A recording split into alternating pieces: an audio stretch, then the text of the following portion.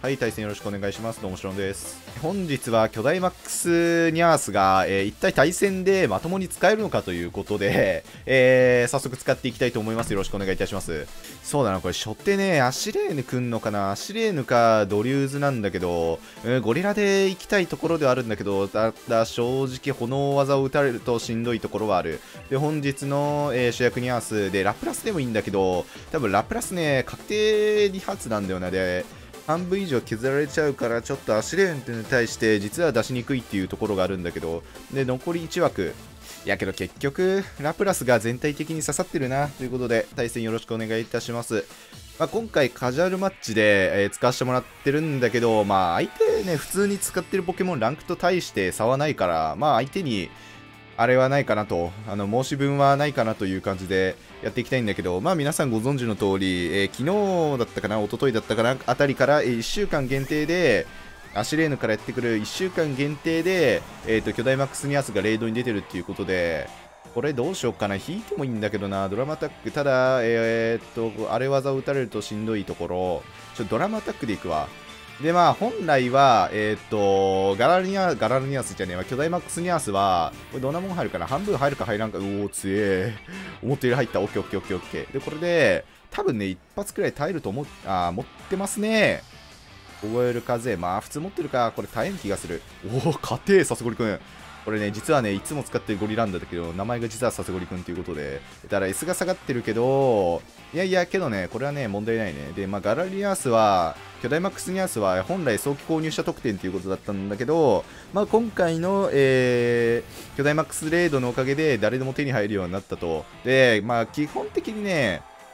それ無駄急所だな、ちょっと。急所貯金それ貯めといてくれや頼むから。でこれでアシュレーヌを突破。まあ本来だとそのニャースってお金稼ぎ金策えっと巨大マックスして巨大小判を売ってえ金策をしていくみたいなあれで役割なんだけどまあねどうせねポケモンならあなたも一ポケモンであるならばやっぱりバトルで使わせてあげたいじゃないかということで、ただね、これ、足連突破したから、正直もう、さそごりくんの、えーっとね、あれはね、役目は終わってて、で、裏ラプラス行きたいんだけど、ただな、正直、まあ、もっ捨てるのももったいない気がするんだけど、ここでね、ドリューズとかが、もしまだいるのであれば、取っときたいんだよね。で、これは、大魔大ジェットとかしてくる読みであるなら、いやけどもゴリラ捨てでいいかな。ゴリラ捨てでいい判断でいけますわ。で、大魔大ジェット打ってくるのであれば、OK、ダイマックス読みは合ってる。ダイマ大ジェットを打ってくるのであれば、えーっと、ドラマアタックで素早さを1段階下げつつ、えー裏に引いて、で、最終的に、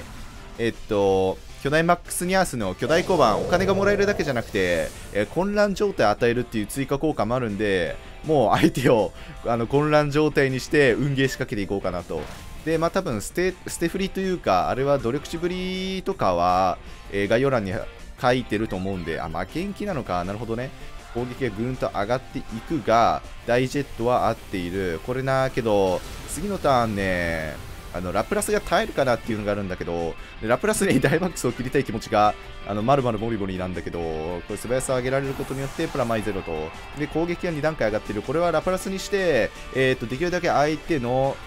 あれを、なんだっけ、ダイマックスターンをからしつつ、で、最後のニャースに、えーかけていくと。ここはけどね、フリーズドライが10万なんだけど、まあけどタイプ1でフリーズドライでいいでしょう。さあ、で、そうなんだよな、まあ、ニャースに特に思い入れはないんだけど、あ、ただね、一つ違う点といえば、EV とさ、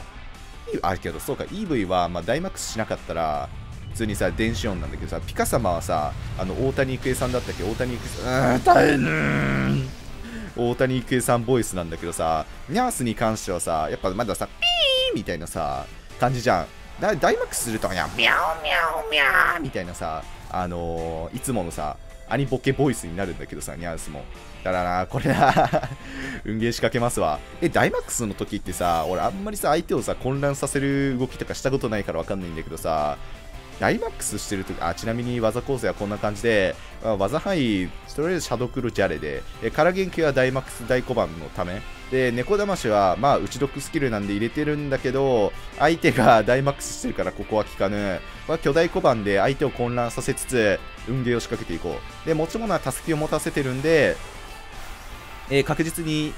回で落ちるということではなく、1回は必ず、えー HP が石で耐えるという仕様になっております。さあ、巨大マックスニャー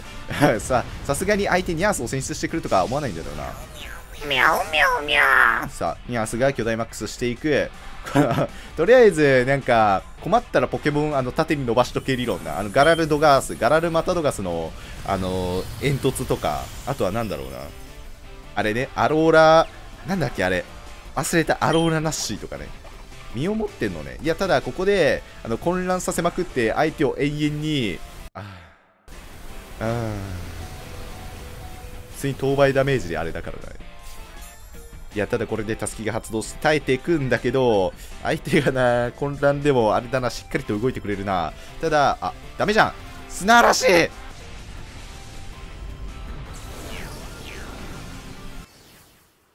はい、対戦よろしくお願いします。お、上にあれだな、エルレイド・サーナイト夫婦がいるな。いや、けどな、なんか、エルレイドはそんなにさ、数見ないけど、他は普通にバチバチあれなんだよな、ランクの方で見る感じの構成なんだよな。いや、けど結局な、結局ラプラスが刺さってんだよな、ラプラス刺さってる、あとは、ミトムが初手に来る読みであるならば、えゴリランダーでいいんだけど、リザードンとか来られると正直しんどい。ただこれはゴリランダー出して、ヒトムかな、ラプラス刺さってるからラプラス連れてきたいんだけどな。いや、そうだな、これこれね、ラプラス所定出して、えー、っと、もし、ミトムじゃなくて、なんだっけ、まあなんか変なところ、リザードンとかに引いてくるのであれば、ロトムみたいな感じで、あとはニアースでいきましょうか、対戦。えー、よろしくお願いいたします。い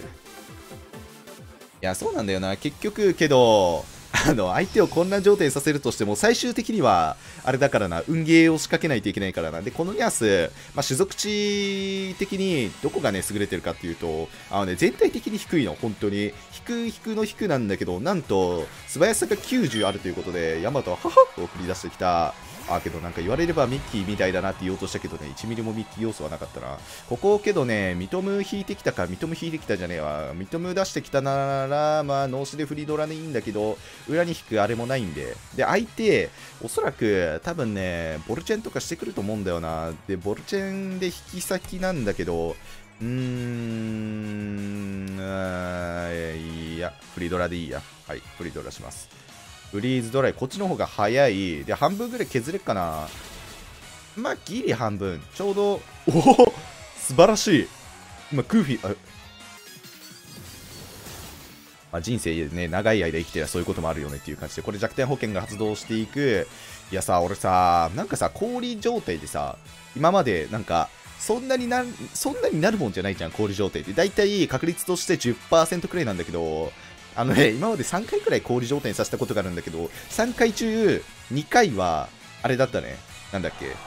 そのターンで氷が溶けたね。少なくともさ、1ターンくらいはさ、氷状態保ってくれてもいいんじゃないかと。あの頃頑張った00ガンダム。色違いじゃん、これ。やっぱ俺ガンダムの知識がないからさ、もしかしたら00じゃなかったら、その界隈にもバジョボコに叩かれまくる傾向にあるんだけど、ただこれもうラプラス捨てでいいかな。で、多分エルレイドってどんなもんなんだろう。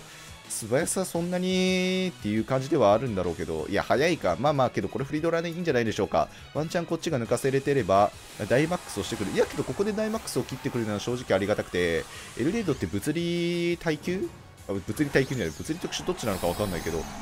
エルレイド、ダイマックス、エルレイドな、なんか、エルレイドとサーナイトってさ、特にさ、なんかダイマックスの姿がさ、キョダイマックスの姿が、なんか確かにロボットの起動音みたいな名前だな。名前じゃねえよ、鳴き声だな。ダイジェット。ああ、なるほど。まあ、ここはロトム引きでいいから、できるだけニャースにつなげるまでに相手の、あれを、なんだっけ、ダイマックスタウンからしといて、あとはもう運ゲーを仕掛けるみたいな、あれしかないんだけど、だからもう最終的に、もう行き着く先は運ゲーなんだよな。だからな、ダイジェットで素早さを上げられるのはあんまりよろしい傾向にはいないと。うわー、火力高いな。いやけど、これで一旦は確実に耐えてくれたから、あただな、これな、猫魂が効かないんだよ。大最古で、猫魂が先制技なんだけど、猫魂が、え確実に一旦効かなくなると、なんか、弱砲持ってそう。いい急所だね。弱砲っぽい。弱砲です。ああ、なるほどな。夫婦揃って弱砲か。いや違う、サーナイトは別に弱砲ではないのか。いやけどまあ、これは適当にロトム切って、残り2匹を、まあ、最強ニャース様にしていただこうと。ニャース唯一、えいいところといえば、唯一、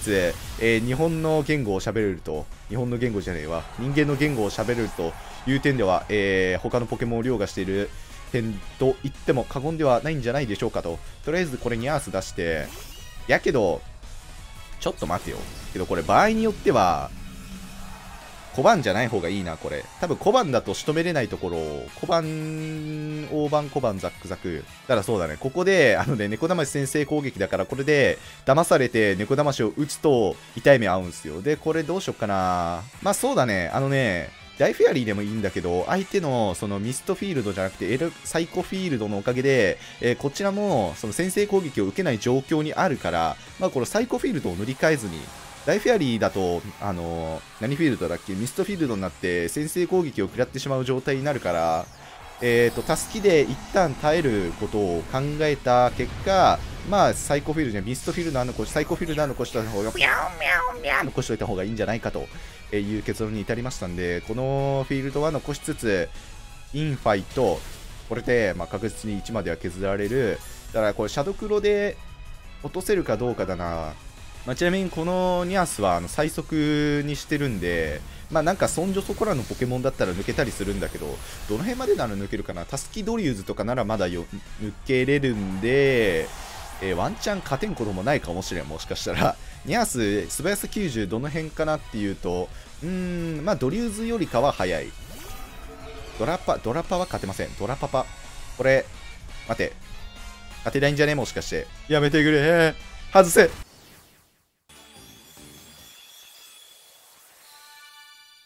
よし。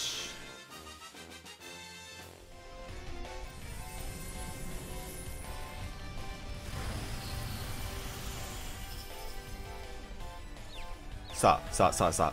混乱しろ。混乱しろ。混乱しろ動くな。動くな。動くな。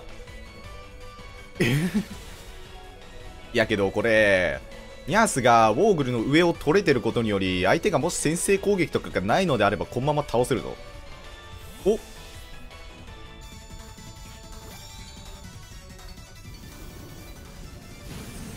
しかもさ、なんか割といい火力してるくないニャース？あ、急所に当たっていく。いいね。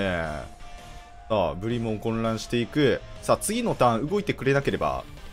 かなりの大番小番ザクザク。いやけどな、これな。もしさ、ランクマッチとかいや、強いニャース、ちょっと待って。ブリモン倒して。